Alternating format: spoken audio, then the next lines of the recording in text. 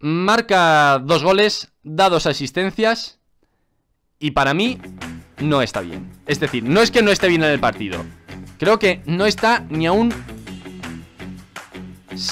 ni a un 80% de lo que puede dar Mariona.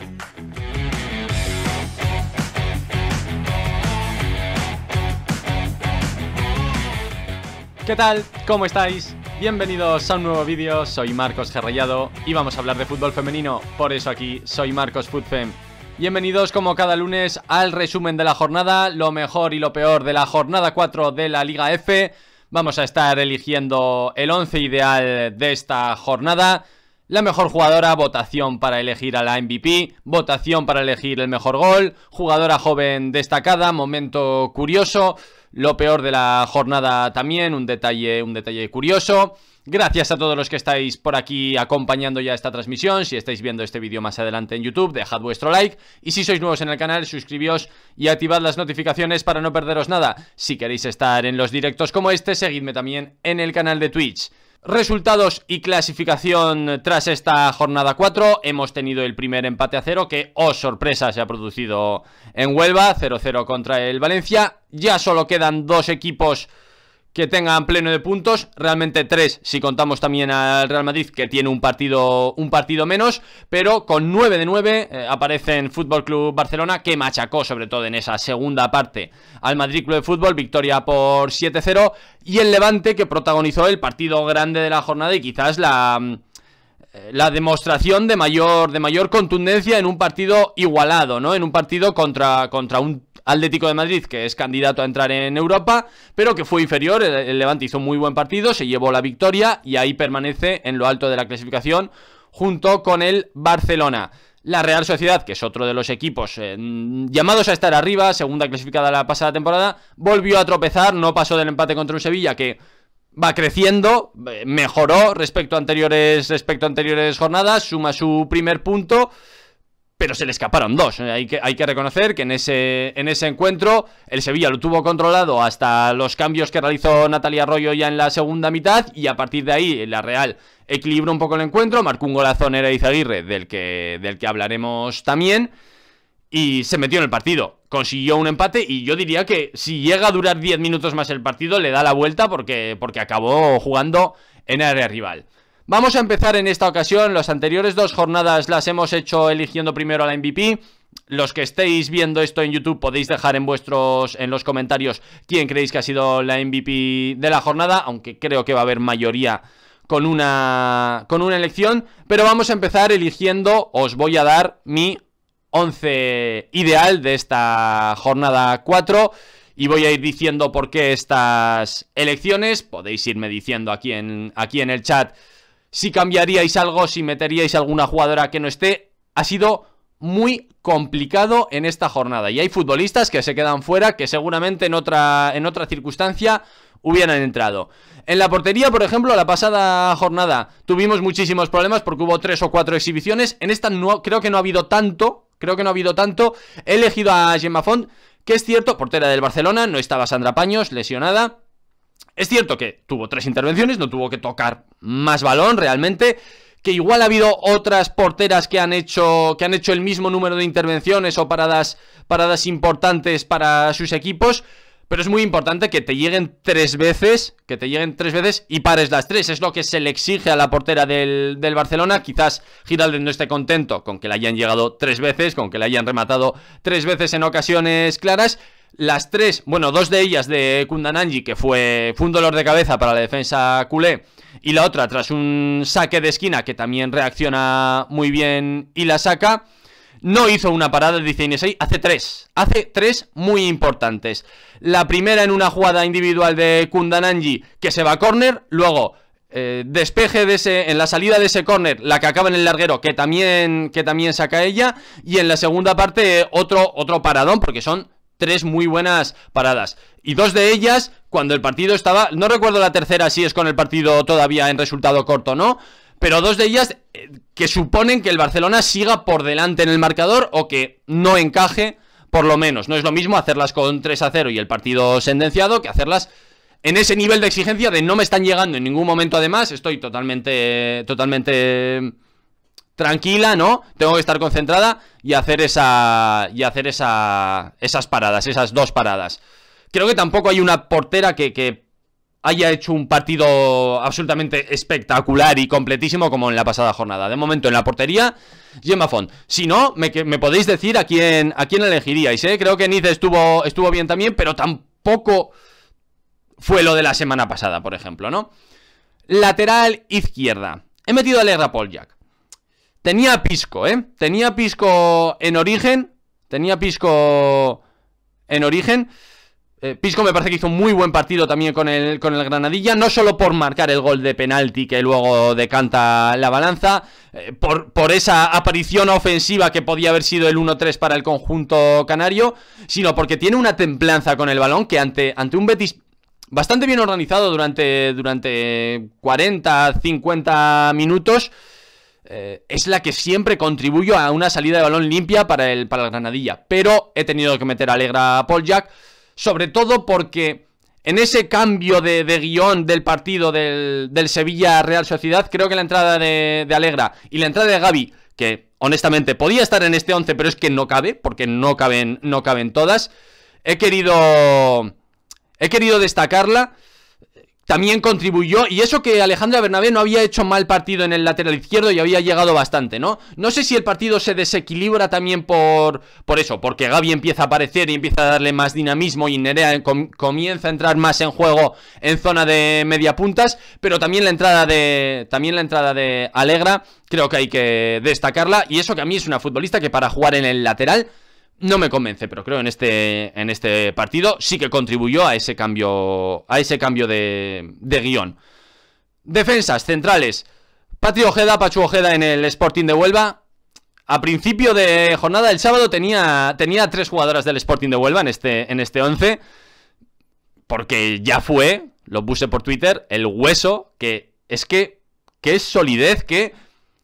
Qué manera de, de que los partidos, digamos que tengan el guion que ellas quieren, ¿no? Guión de el equipo contrario no juega, o sea, no, no pasa por aquí. No pasa por aquí, si divide balón somos más fuertes, eh, estamos bien, estamos sólidas, mm, no consiguen transitar, no consiguen... Eh, cerraron muchísimo a, a Torrodá, Torrodá apenas pudo intervenir y cuando soltaba el balón ya iba...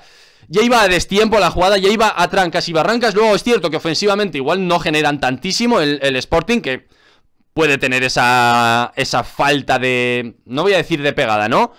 Eh, pero quizás siempre partidos bastante cerrados y en los que pasen pocas cosas.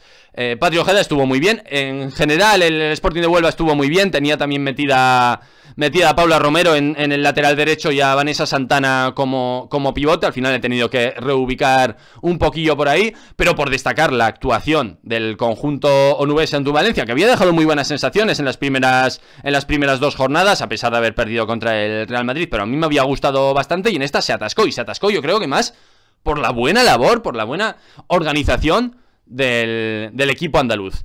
Junto a Patrio Ojeda he metido a Meseguer.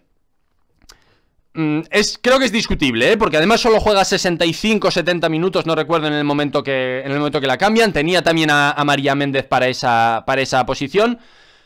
Pero lo comentamos, ¿no? Algo va a tener que hacer Cristian Toro para reubicar y que no sea esta, esta desprotección que tenía el Sevilla durante las dos primeras jornadas.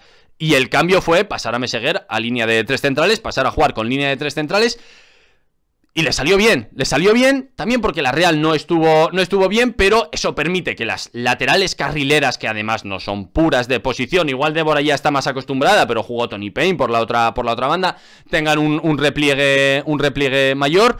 Eh, dice poquito peor, a mí Messi no me convence del todo esta jornada. A mí sí, a mí, y a mí me convence más en esta posición, en este, en este tipo de Sevilla En este Sevilla que además se va a exponer y tiene muchas jugadoras Muchas jugadoras de ataque Me convence más en línea de tres centrales Viendo el fútbol de cara, igual no teniendo que recorrer Tantísimo espacio en el centro del campo. El gran problema del, del Sevilla en las anteriores en las anteriores jornadas es que quedaba muy expuesto el equipo, quedaba rotísimo. Y en esta Creo que le puede llegar a pasar lo mismo, pero al menos tienes una línea de tres centrales que ya tienes más ya tienes más jugadoras en esa en esa posición. Es cierto que el Sevilla no fue no fue la locura que fue en anteriores encuentros, te dio un poquito más la iniciativa, sí que empezó presionando muy arriba la Real, pero luego sí que replegó, replegó entre comillas, ¿no? Sí que esperó un poquito más en, en campo propio. Y creo que ahí también le puede pesar y le puede llegar a pasar Fijaos en, la, en el paralelismo que voy a hacer. Le puede llegar a pasar como, como al Chelsea, ¿no? Muchas jugadoras de ataque,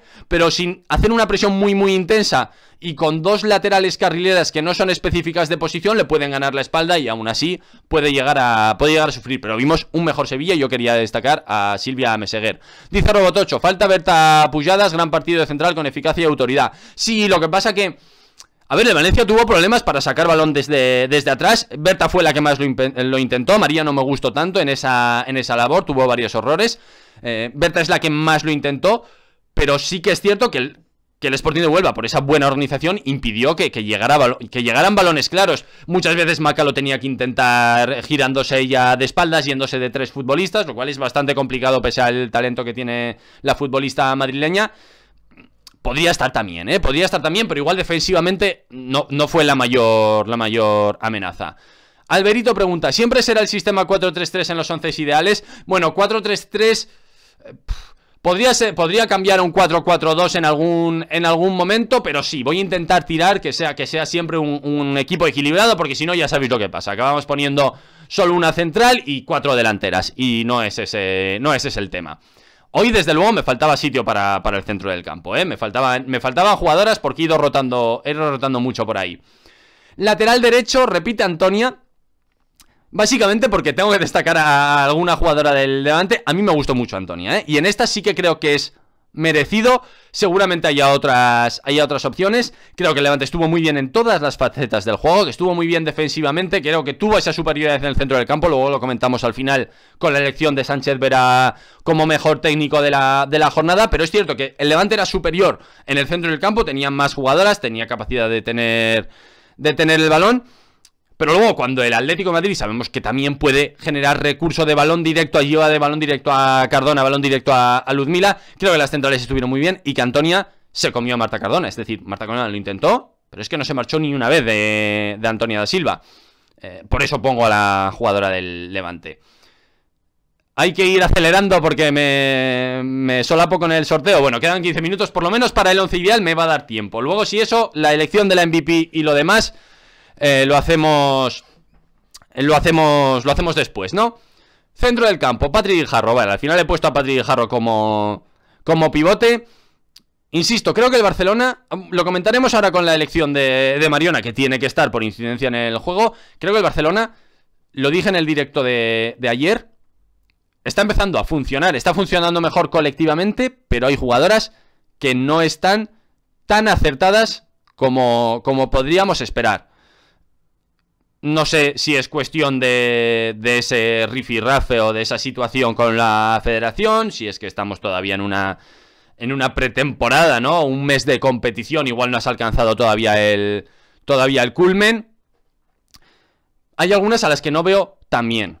La cuestión es que es tan superior el Barcelona en 90 minutos contra un equipo de zona media, zona baja, vamos a decir, el Madrid de Fútbol no sé hasta dónde va a llegar, ¿no? Pero no es un candidato a, Europa. Está superior a nivel físico, a nivel técnico, a nivel, a nivel táctico, que va a acabar encontrando los huecos. Y ahí Patrick Guijarro, si le das un segundito, no lo necesita. Pero si además tiene ese segundito porque ya el equipo rival ya empieza a no llegar, eh, que metes a, Rolfo desde el banquillo, que entra Jace desde el banquillo, que te aportan esa energía extra y esa, ese, desborde, ese desborde extra pues ya empieza, empieza a crecer, empieza a distribuir y al final es absolutamente clave en una victoria por 7-0. Claro, es, difícil decir, en una victoria por 7-0, es difícil decir, no ha sido el mejor partido de Barcelona. Ha sido 30 minutos muy, muy buenos, pero en 60 ha sido un partido no igualado tampoco, pero con, con, margen, de, con margen de mejora. Lo que pasa es que luego ganas 7-0, pues es normal que tengan que entrar jugadoras por, por lo mucho que han destacado en esos 30 minutos y lo mucho que han contribuido. Vamos a la zona de a la zona de interiores. Laura Martínez del Levante Las Planas. Decía por aquí Robotocho que muy bien el Levante Las Planas. A mí hoy, o sea, hoy, ayer, anteayer, realmente, si nos, si nos ponemos estrictos, ¿cuándo se jugó el Levante Las Planas a Lama? Ayer por la mañana, domingo por la mañana. Coincidió con el, con el Atlético de Madrid, con el Levante Atlético de Madrid. Eh, lógicamente, por la entidad de los por la entidad de los equipos, por lo que por lo que se podían jugar seguramente, ¿no? Yo estuve más atento igual que todos al al Levante Atlético de Madrid. Puedo equivocarme un poquito en, la valoración, pero me pareció un partido muy abierto. Me pareció un partido, el, el, el Levante Las Planas Alama, me pareció un partido muy abierto en el que ambos no estuvieron demasiado sólidos en defensa. Creo que hay errores, hay errores de, compenetración, hay a veces esas, esos despejes eh, flojos a frontal del área, indecisiones entre portera y, defensas. Creo que yo ninguno de los dos estuvo especialmente bien en, en, tareas, en tareas defensivas y de hecho, eh, si analizamos las jugadas, las llegadas, creo que la Lama incluso mereció, mereció algo más. Luego hablaremos del, del Alavés. No es el mismo caso, el Alama no se ha quedado lejos de puntuar en ninguno de los en ninguno de los partidos. En este acaba perdiendo acaba perdiéndolo 3 a 1, pero el último llega en la última jugada de partido para fastidiarme la quiniela en la que llevaba un 2 a 1 y el anterior llega también en las postrimerías de encuentro. Estaba estaba empatado y habían tenido y habían tenido opciones. Destaco a Laura Martínez básicamente porque marcó dos goles. Eh, no puedo desarrollar más el, contexto de partido, cómo, cómo jugaron ambos equipos. Eh, más bien es lo, que, es lo que creo y lo que pude ver, pero no con tanta profundidad, pero es que marca dos goles. Por lo tanto, marcando dos goles, siendo decisiva en la victoria, en la victoria de tu equipo, no podía, no podía dejarla fuera. Junto a ella hay en ese centro del campo Caroline Weir, creo que no nos vamos a extender tampoco demasiado porque lo tenéis en YouTube el vídeo analizando el Athletic Real Madrid. Fue la clave del conjunto merengue, dos asistencias y un gol ya también al final del, al final del encuentro, siendo decisiva, siendo la mejor jugadora del Real Madrid en este arranque de campeonato y demostrando la clase que tiene. Alguien preguntaba, creo que lo leí por Twitter, si era... Eh, había, estaba siendo la mejor jugadora en el arranque de competición de la liga. Estaría ahí. Tendría que estar, tendría que estar ahí entre las, entre las elegidas, entre las mejores. Yo elegiría otra, pero tendría que estar ahí sin ninguna, sin ninguna duda. Más. Fatou Kanté. Aquí, mira, he metido a una del Villarreal El Villarreal gana 0-4 Creo que no es un partido de 0-4 Creo que hasta el 0-2 es un partido relativamente igualado Estando mejor el Villarreal E insisto, también estuve más pendiente del Granadilla Del Betis Granadilla, ¿no? Pero creo que fue un partido más igualado de lo que demuestra el marcador el, Alavés, al Alavés le faltan cosas, ahora lo analizaremos también. El Villarreal estuvo bien en presión, robó algún balón, pero luego lo determinante llega gracias a, a Fatou con primero una ocasión muy clara que acaba en el acaba en el palo y luego con gol y asistencia aprovechando espacios y, marchándose en velocidad. Es cierto que Sheila Guijarro marca dos goles, que podía haber metido a Sheila ahí en, punta de ataque por esos, por esos dos goles. Y haber metido a Mayra en, en, la derecha, creo que fueron las dos jugadoras clave del, del Villarreal. Por lo tanto, al final he metido a una de ellas, destacando el buen hacer y destacando la, la importancia en el resultado que tuvo Fatucante. Mariona Caldentey. Aquí vamos con una de las, de las claves. Eh, Mariona Caldentey marca dos goles, da dos asistencias y para mí no está bien. Es decir, no es que no esté bien en el partido. Creo que no está ni a un... ni a un 80% de lo que puede dar Mariona. Creo que le falta un poco de. Creo que le falta un poco de chispa. Creo que le falta un poquito de. un poquito de precisión todavía. Lo que pasa que volvemos a lo mismo. Y, estuvo a punto de. En el descanso estuvo a punto de poner un tweet de. Yo no la veo bien. Y luego te puede, te puede hacer esto. Porque, claro, tiene una inteligencia en los movimientos y un talento individual que es. Que es que es hasta normal que te dé esto. Pero para mí todavía. Dice, dice Lois Cloud que sale de lesión. Puede que sea eso, puede que sea lo que hemos comentado antes, el tema, el tema anímico. Esto le va a venir, le va a venir muy bien. Pero no me parece que sea el mejor partido de Mariona. Me parece que puede dar muchísimo más. Y aún así te da dos goles asistencias, te da un golazo, te da, te da muchísimo. A ver, no quiero condicionar, creo que va a ser, la, va, a ser elegida, elegida la MVP. Pero quería comentarlo y no me voy a... Eso, no, no lo voy a... No voy a dejar de decir, a pesar de que me vayáis a decir mucha gente... Bueno, veo que también hay, hay, gente de acuerdo por aquí, pero ya sé lo que va a pasar luego en YouTube diciéndome... Eh, hizo... No estoy diciendo que hiciera mal partido, estoy diciendo que creo que puede dar todavía muchísimo... Muchísimo más. Dice Jagolo, eh, Marion es como Beth Mead solo por goles y asistencias. Bueno, a ver, a ver, aquí estamos comparando una buena jugadora con una jugadora top mundial. Marion es top mundial, me, podéis decir lo que queráis. Vale, que no aparezcan los premios, me parece muy bien, pero Marion es top mundial. Marion es una jugadora absolutamente determinante. Y sobre todo es, es que es lo que es lo que quiero resaltar de nuevo. Creo que no está bien, creo que le falta una chispa, creo que le falta un poquito de, un poquito de precisión también. Igual a Barcelona le falta también un poquito de automatismos todavía, aunque creo que los está, que los está alcanzando pero tiene esa capacidad como para saber orientarse, para saber lo que pide la jugada, que al final es que te, destroza, te destroza los partidos y lo vimos, lo vimos en este. Podríamos también eh, valorar, ¿no? El bajón del, del de fútbol, si dejaron de competir o no, si... Bueno, se pueden valorar más, más cosas. Solo fue determinante en el resultado, para mí Marion es muy determinante también en el... En el, en el desarrollo del juego, ¿eh? En el desarrollo del juego, justo por lo que estoy diciendo. Y por último, en punta de ataque, Igual, igual queréis que meta otra futbolista, pero entre que soy muy de Mayra. Me da igual que sea una delantera que no ha marcado. Bueno, no ha marcado. Podemos decir que tuvo incidencia en el...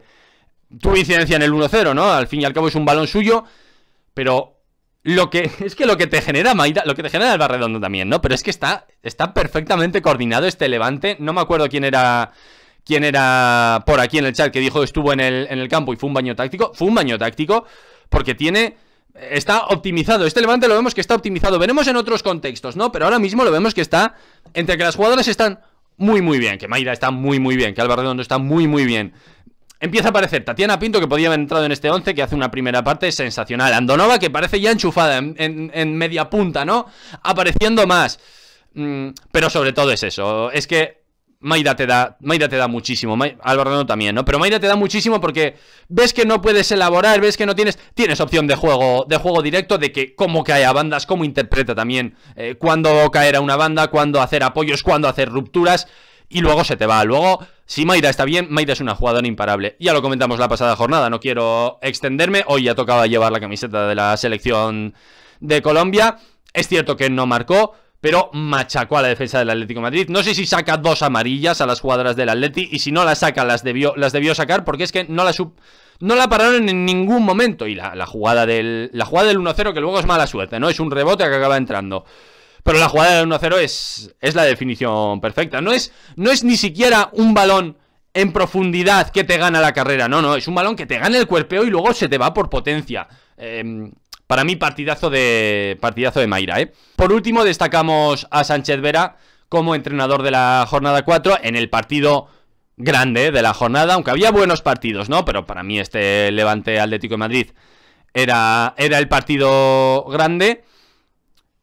Como superó a Oscar, podemos decir también que, hay un déficit en el Atlético de Madrid, ¿no? de planteamiento de partidos. No por nada lo dije en el anterior, anterior vídeo del lunes de las cuatro preguntas, ¿no? Saqué esa, esa posible pregunta después de que el Atlético Madrid ganase y llevase puntuación perfecta. Pero lo que decía, el, el, Levante está perfectamente optimizado. Sí que es cierto que Sánchez Vera es un entrenador que ha propuesto muchas veces ese 4-1-2-1-2, pero es que tiene las piezas perfectas para ella. Tiene jugadoras que tienen recorrido y tienen buen toque. Tiene una media punta, media punta de verdad, Andonova, ¿no? Andonova no es interior, Andonova no tiene esa capacidad, ese sacrificio defensivo, esa necesidad de aparecer constantemente, tener balón. No, Andonova es una jugadora para aparecer, mejorar las jugadas y luego tener ese primer toque, ese golpeo desde fuera del área. Tiene las dos delanteras, igual le falta una, una suplente para dar descanso a Mayra y Alba Redondo, ¿no? Que no van a poder jugar todo a este, a este nivel, pero tiene dos jugadoras que te pueden caer a bandas bien, que te pueden, te pueden generar espacio, te pueden generar también en, apoyos, tiene una defensa suficientemente sólida, tiene a Paula Tomás que te, que te maneja ambas piernas, Antonia que a mí me parece sensacional, me parece, es la única jugadora de momento que ha entrado, que ha entrado en dos once ideales, tiene centrales contundentes, centrales que también tienen buen pie por si acaso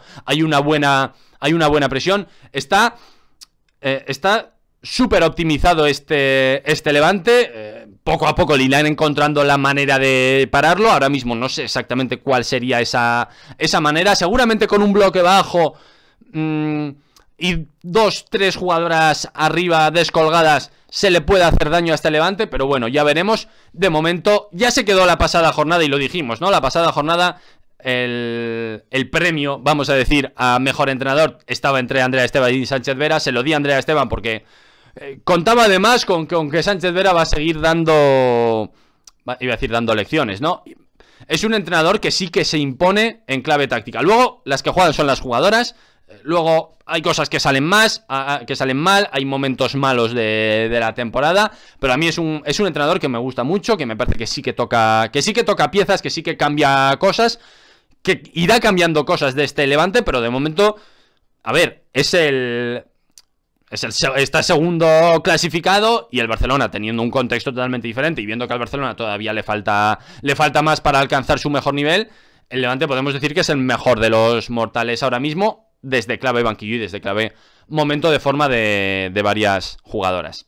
Hecho el 11 ideal, vamos con la elección de la MVP.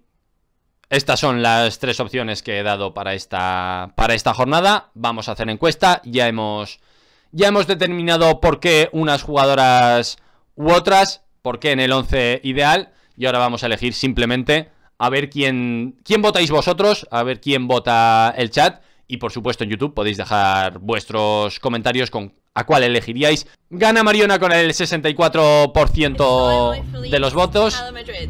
Aunque hay gente que quiere demostrar su lado madridista, pero de momento en esta... De momento no, y ya definitivamente, aunque no les pueda dar... No les pueda dar nada, no les pueda dar un premio y no les vaya a mencionar porque me da mucha, mucha vergüenza. Mariona elegida mejor jugadora de esta jornada 4. Vamos con el resto de con el resto de aspectos, con cuestiones que quiero destacar yo de esta jornada, de lo mejor y de lo peor, más centrados en lo en lo mejor. Vamos con la jugadora on fire. Yo aquí en principio tenía situado Está coincidiendo bien. Mariona gana el MVP y suena el, el Ala Madrid. Eh, Naikari la destaco como jugadora en racha y suena el suena el Vizca Barça. He elegido a Naikari, había puesto primero al Levante las planas, ya hemos analizado un poco el contexto del Levante las planas. Naikari lleva dos goles en dos partidos y ya veo... Naikari está volviendo, dice, dice Fati. Yo a Naikari la veo bien, la veo bien. ¿Mejor que Esther? No lo sé, sé que a la gente le gusta más. Madre mía, esto va a quedar muy bien en YouTube. Mmm... Sé que a la gente le gusta más, sé que a muchos aficionados del Real Madrid eh, les gusta más. ¿Está mejor que Esther ahora mismo? Está marcando, ha marcado dos goles en. Ha marcado dos goles en dos partidos. Y yo creo que está ofreciendo esas descargas, esos apoyos. Pero creo que también influye mucho que este año tienes a una media punta como. Madre mía, por favor. Voy a tenerlo que quitar, eh. Eh tienes a una, una, media punta con Carlen Weir que también entiende, entiende el juego a la perfección. Creo que está encontrando ahí la tecla la tecla Toril. Hay una cuestión que no me gusta del 4-2-3-1, que es que creo que el equipo queda muy largo. Y lo vimos también en algún momento, sobre todo en principio de partido contra el Athletic, lo vimos contra el Manchester City en, su momento. Pero tienes el recurso de Carolina Neuwir apareciendo por cualquier parte del campo y compenetrada bien tanto con Olga como con Atenea, que para mí deberían ser las extremos titulares, vamos a decir. Eh, me gusta cuando juega con, con extremos puras. También me valdría Nomi Feller y Naikari haciendo esa, esa labor que ya le vimos hacer en el último año en la Real Sociedad. Luego es cierto que con el Real Madrid no ha tenido esa trascendencia y luego no ha tenido el gol. Eh, al final pesa mucho el gol, pesa mucho el gol en una delantera. Cuando las enchufas, siempre parece que estás jugando mucho mejor. Hay que ver si en el desarrollo del juego es, es así. Si en el desarrollo del juego es así.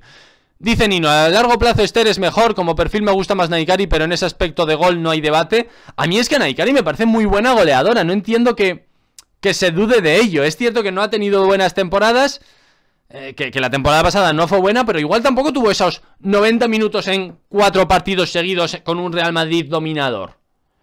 Y ahora, no sé si decir que el Real Madrid es dominador, pero sí que genera, sí que genera y sí que marca. Entonces, hay que darle, hay que ese margen. Naikari ahora tiene, ahora ya el contexto no puede ser de necesita reivindicarse, es él, se está reivindicando, necesita minutos. ¿Los va a tener? O sea, los va a tener para seguir jugando, hay que verlo. Pero quería destacarla. Quería destacarla aquí, sobre todo porque aquí no hemos. No nos hemos bajado nunca del barco de. de barco de Naikari. Vamos con la siguiente. La siguiente categoría. Jugadora joven destacada. Podéis darme. Podéis darme vuestras opciones. Yo en esta siento la imagen, imagen aquí a, toda, a toda cara, no hay muchas imágenes disponibles, el Sporting de Huelva no se prodiga mucho en cuanto a, en cuanto a terreno de fotografía. Bárbara López. Como digo siempre, mm, voy a intentar, bueno, no voy a intentar, voy a hacerlo, no voy a repetir dos jugadoras durante la temporada, siempre vamos a elegir una jugadora nueva. Bárbara López, 17 años, ¿ha empezado bien la temporada? Entre comillas, ¿no? Ha empezado bien la temporada, entre comillas. Mm, la primera jornada no la jugó, la segunda entró desde el banquillo y decidió el partido con un muy buen gol, y en esta no ha tenido influencia en el resultado, no ha tenido influencia porque es delantera y no marca. Pero ojito, tiene 17 años, a mí hay una cosa que me ha entusiasmado, no la conocía de nada, ¿eh? Tengo que reconocer que no la conocía de nada, y en el primer partido apareció en el gol, pero igual tampoco apareció tanto. A este Sporting de Huelva le va a venir como anillo al dedo a ver si aguanta toda la temporada eh, con esta trascendencia, ¿no? Pero en un equipo que juega bastante replegado y que juega bastante directo, lo bien que mueve el cuerpo Bárbara López es muy poco habitual en una jugada de 17 años. Lo normal es que tengan mucho talento o mucha velocidad y tal, pero no esa capacidad física como para protegerte balón, como para ganarte, como para girarse le sacó faltas a, Torrodal, le sacó faltas a Berta, a Berta Pujadas, que son, son jugadoras jóvenes, pero jugadoras ya con una, con una trayectoria, con una experiencia. Machacó a María en el. También como, como central, sabe caer bien, sabe proteger bien el balón. A mí me gustó muchísimo me gustó muchísimo Bárbara, Bárbara López y por eso quería destacar a esta futbolista. Dice Jojarola por aquí, Tarazona. Bueno, Tarazona va a seguir jugando y tarde o temprano va a entrar, va a entrar aquí porque sí que es cierto que la primera, la primera jornada eh, pudimos, pudimos tener alguna duda más, pero en la siguiente sí que ha estado muchísimo más, muchísimo más segura. Entonces, en el futuro... Andrea Tarazona va a entrar también en esta, en esta sección, jugadora también muy joven. Pero había que destacar también ya, para mí había que destacarla ya porque yo creo que no se va a caer ya de los 11, Bárbara López, que va a ser la delantera titular de este, de este Sporting de Huelva. Siguiente, siguiente categoría. La imagen curiosa, la cuestión sorprendente. Esto podríamos meterlo en lo peor de la, de la, jornada. No sé si lo habréis visto. No lo he visto demasiado comentado por, comentado por redes sociales. Pero a María José Pérez que a la que ya pido perdón desde, desde ahora por haber puesto en la primera jornada que no recomendaba su fichaje en el Fantasy. A ver, no es que lo recomiende, pero mi idea de... A ver, tiene ya una edad, igual aparece menos en el, en el Granadilla, igual no es indiscutible, no juega 90 minutos, siga muy buen nivel. María José Pérez sigue siendo, y para mí fue una de las claves de este, de este partido. La cambian en el minuto, en el minuto 70, eh, lesionada, teóricamente, bueno, veis los, veis el, veis los tweets ahí de, de María José, y cuando va a salir por la banda, hace, hace un gesto de, silencio al banquillo del Betis. Banquillo del Betis que ocupa Francis Díaz, ex entrenador del Granadilla la pasada temporada.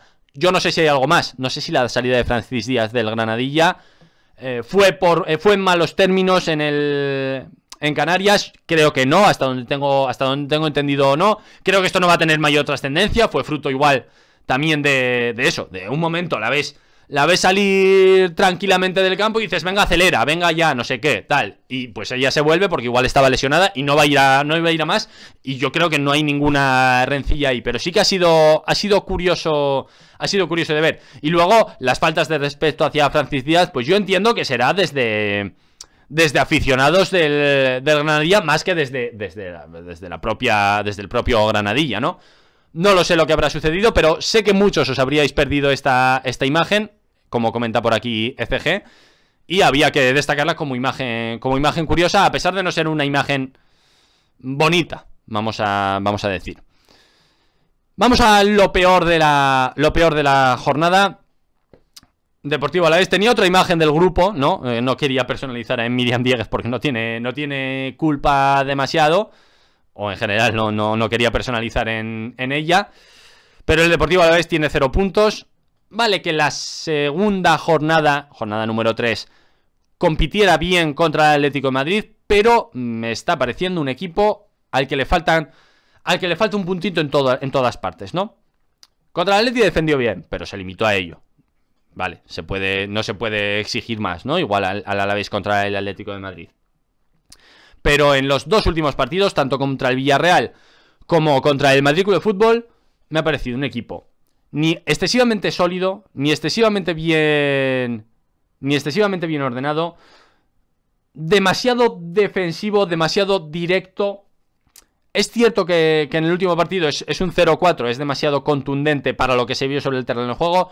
Pero le está faltando suerte, porque tuvo dos largueros. Le falta, para mí, le falta ambición. Creo que tiene piezas como para jugar un, un estilo un poquito más propositivo.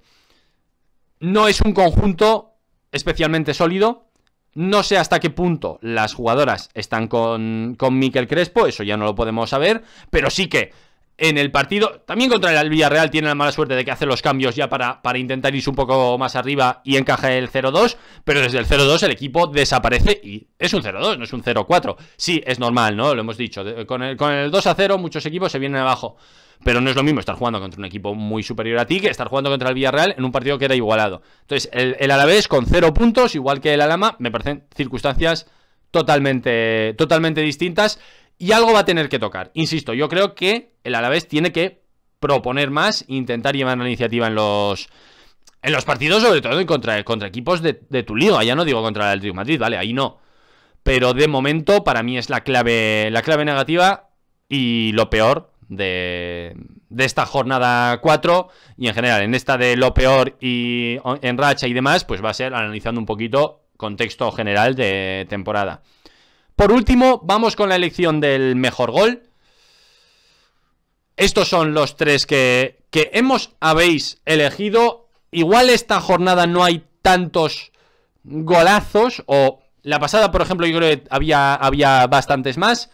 Lo que digo siempre, Voy a poner las imágenes de los, de los goles por aquí en YouTube. No van, a, no van a salir por temas de copyright, pero bueno, aquí en Twitch sí que, sí que me dejan. Y votáis, votáis a la encuesta y votáis. Y el mejor de la jornada, el mejor gol de la jornada, según vuestros votos, con el 75% de votos, es para Nerea Eizaguirre. Nada más, gracias a todos los que habéis estado acompañando este directo. Gracias por apoyar el canal. Si estáis viendo esto más adelante en YouTube, dejad vuestro like en el vídeo. Y si sois nuevos, suscribíos y activad las notificaciones para no perderos nada. Nos vemos en el próximo vídeo.